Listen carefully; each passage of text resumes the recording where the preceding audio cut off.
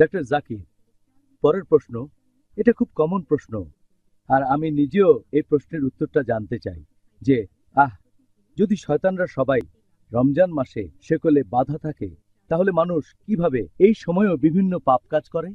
আমিও একমত যে এটা একটা কমন প্রশ্ন। আমার মনে আছে, অনেক বছর আগে যখন স্কুলে পড়তাম, হাদিসটা তখন শুনেছিলাম যে রমজান মাসে শয়তান শেকলে বাধা, তখনই আমার মাথায় এই প্রশ্নটা একবারে সঙ্গে সঙ্গে এসেছিল। আর প্রশ্নটা অনেক মুসলিমের মাথাতেই আসবে। অনেক অমুসলিমও ভাববে যে, যদি শয়তান শেকলে বাধা থাকে, তাহলে কীভাবে মানুষ রমজান মাসে গুনার কাজ করে? এটা আমাদের নবী সাল্লাহ সাল্লামের একটা হাদিস। আমি আগেও বলেছি, সহি হাদিস আছে মসনদ আহমদে, খণ্ড নম্বর দুই, পৃষ্ঠ নম্বর দুশো তিরিশ, হাদিস নাম্বার সাত হাজার একশো আটচল্লিশ। এছাড়াও এই হাদিসটা আছে সুনাল নিসাইতে। অধ্যায় নম্বর পাঁচ, হাদিস নাম্বার দুই হাজার একশো ছয়। এখানে আমাদের নবীজি বলেছেন যে, তোমরা সবাই শোনো, রহমতের মাস রমজান তোমাদের সামনে এসেছে, আল্লাহ তোমাদের নির্দেশ দিয়েছেন, তোমরা এই মাসে রোজা রাখো। আর বেহেস্তের দরজা এই মাসে খোলা অবস্থায় থাকবে, দোজখের দরজা বন্ধ থাকবে। শয়তান থাকবে সেকলে বাঁধা। এই মাসের একটা রাত হাজারটা মাসের চেয়েও উত্তম। আর যে ব্যক্তি এই মাসের রহমত থেকে বঞ্চিত হয়, সে আসলে হতভাগ্য মানুষ। এখন এই হাদিসে পরিষ্কার করে বলা হয়েছে যে, রমজান মাসে শয়তান সেকলে বাঁধা থাকবে। প্রশ্নটা বেশ লজিক্যাল শয়তান যদি সেকলে বাঁধা, তাহলে মানুষ কেন এমন পাপ কাজ করে থাকে? এখানে একটা কথা বলব, এটা সবাইকে বুঝতে হবে যে, শয়তান যখন সেকলে বাঁধা, তার মানে এই না যে শয়তান শেষ হয়ে গেছে বা মেরে ফেলা হয়েছে, এখনও আছে, তবে সেকলে বাঁধা। মেরে ফেলা হয়নি। তাদের ক্ষমতা এখনও আছে, তবে তীব্রতা অনেক কম। ভালো করে বোঝার জন্য একটা উদাহরণ দিচ্ছি আমি। ধরেন একটা সিংহ অথবা বাঘ মুক্ত থাকলে সম্ভাবনা বেশি আপনাকে মেরে ফেলবে। বিপদে পড়তে পারেন। কিন্তু যদি সেই সিংহ অথবা বাঘটাকে সেকলে বাধা হয়, আপনি নিরাপদ। ততক্ষণই নিরাপদ থাকবেন। যতক্ষণ নিরাপদ দূরত্ব বজায় রাখবেন। বাঘটাকে সেকলে বাঁধার পর আপনি যদি তার খুব কাছে আসেন, তাহলে সম্ভাবনা থাকে যে আপনাকে মেরে ফেলবে। যদি সেকলে বাঁধা বাঘ থেকে নিরাপদ দূরত্ব বজায় রাখেন, নিরাপদে থাকবেন।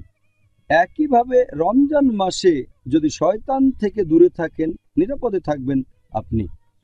পবিত্র কোরণে দেখবেন আল্লাহ বলেছেন সুরা বাকারা, অধ্যায় নম্বর দুই, আয়াত নম্বর একশো আটষট্টি, তোমরা খুতুয়াতুর শয়তান সম্পর্কে সাবধান হও, শয়তানের পদাঙ্ক অনুসরণ করো না। নিশ্চয়ই সে তোমাদের জন্য এক প্রকাশ্য শত্রু। আল্লাহ তালা পবিত্র কোরণে অনেক জায়গাতে বলেছেন, তোমরা শয়তানের পদচিহ্নের ব্যাপারে সাবধান থাকো। আল্লাহ এই কথা বলেননি যে শয়তান থেকে সাবধান হও, কারণ সাধারণ মুসলিম, গড়পড়তা মুসলিম, যাদের মোটামুটি ইমান আছে, যদি সামনে শয়তানকে দেখে, তারা সাবধান হয়ে যাবে। যেমন ধরেন, কোনো একজন তরুণী মেয়ে, সে আসলো একটা সাধারণ মুসলিম তরুণ ছেলের কাছে, যার ইমান মোটামুটি। যদি মেয়েটা তাকে বলে যে, চলো আমরা একসাথে রাত কাটাই ছেলেটা বলবে, একসাথে রাত কাটাবো? একটা মেয়ের সাথে? এটা হারাম, এটা তো জেনা। সে তক্ষণে প্রত্যাখ্যান করে দেবে। কিন্তু সেই একই মেয়ে যদি পরে সেই ছেলেটাকে ফোন করে তার সাথে কথা বলে, তখন সেই ছেলেটা ভাববে যে ফোনে একটা মেয়ের সাথে কথা বলব, কোনো সমস্যা নেই। আমি তো শুধু একটা মেয়ের সাথে কথা বলব। তারপর মেয়েটা বলল, চলো কোনো ফাস্টফুডে গিয়ে আমরা খাই ম্যাকডোনাল্ডসে বা কেন্টাকি ফ্রাইড চিকেনে ফাস্টফুড দোকানে। আমি বেশ কিছু সময় ধরে একটা মেয়ের সাথে খাওয়া দাওয়া করব ম্যাকডোনাল্ডসে সমস্যা নেই। এভাবে ছেলেটা মেয়েটার সাথে খাওয়া দাওয়া করতে চলে যায় ম্যাকডোনাল্ডসে তারপর মেয়েটা বলল, চলো আমরা কোনো রেস্টুরেন্টে গিয়ে ডিনার সেরে ফেলি। রেস্টুরেন্টে বসে একটা মেয়ের সাথে খাওয়া দাওয়া করব মাত্র কয়েক ঘণ্টার জন্য, কোনো সমস্যা নেই। তারপর মেয়েটা বলল, চলো আমরা একসাথে রাত কাটাই। তখন ছেলেটা বলবে, একটা মেয়ের সাথে রাত কাটাবো? কোনো সমস্যা নেই। এটাই হলো কুততু শয়তান। শয়তানের পায়ের চিহ্ন। এ কথাটা কোরআনে বলা নেই, উদাহরণটা আমার নিজের বানানো। তাহলে আল্লাহ তালা আমাদের নির্দেশ দিয়েছেন খুতুয়াত শয়তানের ব্যাপারে সাবধান থাকো। শয়তানের পায়ের চিহ্ন। যদি শয়তান সরাসরি সামনে আসে কোনো সাধারণ মুসলিমের সামনে যার ইমান আছে, সে সাবধান হয়ে যাবে। সেখান থেকে পালিয়ে যাবে। কিন্তু খুতুয়াত শয়তান, এটা হচ্ছে খুবই বিপজ্জনক। তাই আমরা বুঝতে পারছি, শয়তান যখন সেকলে বাধা, তার পদচারণা তখন সীমিত জায়গা। তাই অনেক পাপেরই সম্ভাবনা তখন কম। তবে যদি আমরা তার কাছে চলে যাই, তাহলে সম্ভাবনা আছে, তার দ্বারা প্রভাবিত হয়ে আমরা পাপ কাজ করে বসব, গুনাহ করব। তাই আমাদের সাবধান থাকতে হবে যে রমজান মাসে যদি দূরত্ব বজায় রাখি, তাহলে পাপ কাজ করার সম্ভাবনা কম। কিন্তু যদি শয়তানের কাছে চলে যায় সে যদিও সেগুলো বাধা, যেমন সেগুলো বাধা অবস্থাতেও বাঘ চলাফেরা করতে পারে। শয়তানও ঠিক সেরকম। আমি ব্যাপারটা এইভাবেই দেখি। আমাদের নবী বলেছেন, শয়তান সেকলে বাধা, তারপরেও চলাফেরা করে। তবে দূরে থাকতে হবে। যদি দূরত্ব বজায় রাখি, তাহলে নিরাপদে থাকব। আর আমার মতে দ্বিতীয় কারণটা হচ্ছে, এই পবিত্র রমজান মাসে যদিও শয়তান সেকলে বাধা, আমরা এটা ভুলে যাই যে বাকি এগারোটা মাস মুক্ত থাকে। আর এই এগারো মাসে শয়তান মানুষকে যেভাবে প্রভাবিত করে, সেটার প্রভাব আর ফলাফলটা রমজান মাসেও কিছুটা দেখা যায়। আপনাদের বোঝার সুবিধার জন্য আমি একটা উদাহরণ দিচ্ছি। অনেক ড্রাগ ব্যবসায়ী, যারা তাদের কাস্টমারদের বেছে নেয় কলেজ বা ভার্সিটির তরুণদের। প্রথম দিকে তারা কি করে? ড্রাগস ফ্রি দিয়ে দেয়। এভাবে তরুণদের ড্রাগস দিয়ে লোভ দেখায় আর কিছুদিন পার হয়ে গেলে সামান্য টাকার বিনিময়ে ড্রাগস বিক্রি করে থাকে। এরপরে চার্জ করা শুরু করে অনেক বেশি বেশি। তবে ততদিনে তরুণরা সেই ড্রাগসে আসক্ত হয়ে গেছে। যদি সে ড্রাগস ডিলার সেখানে নাও থাকে, তারা খুঁজে বের করবে তাকে। যেখানে থাকুক খুঁজে বের করবে, কারণ ড্রাগস তখন লাগবে। এরপর যদি সেই ড্রাগস ডিলার বা সেই ড্রাগ ব্যবসায়ী জেলখানার মধ্যেও বন্দি থাকে, তাহলে তারা অন্য ড্রাগস ডিলার খুঁজে বের করে নেবে। অথবা কেমিক্যাল শপে গিয়ে বিভিন্ন ওষুধ কিনে খেয়ে দেখবে, তারা তো আসক্ত হয়ে গেছে। তাহলে এই লোকগুলো যারা ড্রাগসে আসক্ত হয়ে গেছে, অথবা বলা যায় শয়তান আসক্ত হয়ে গেছে, যদিও শয়তান সেগুলো বাধা, তার প্রভাবটা রয়ে গেছে। তাহলে দেখতে পাচ্ছেন যে একজন মাদক ব্যবসায়ী, একজন ড্রাগস ডিলার উপস্থিত না থাকলেও তার প্রভাব আসক্তদের উপর ছড়িয়ে থাকে। এভাবে আমরা মানুষরাও পাপে অভ্যস্ত হয়ে গেছি, যদিও শয়তান এ সময় সেকলে বাধা, আমরা বারবার একই ভুল করি।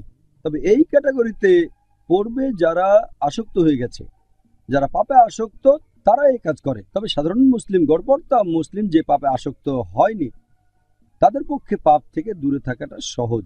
এ ব্যাপারে তৃতীয় যে লজিকটা, সেটা হচ্ছে, যদিও অনেক বিশেষজ্ঞ বলেন যে এই পবিত্র রমজান মাসে শক্তিশালী শয়তানরা, বড় শয়তানরা, সেকলে বাধা থাকে, ছোটগুলো মুক্ত থাকে।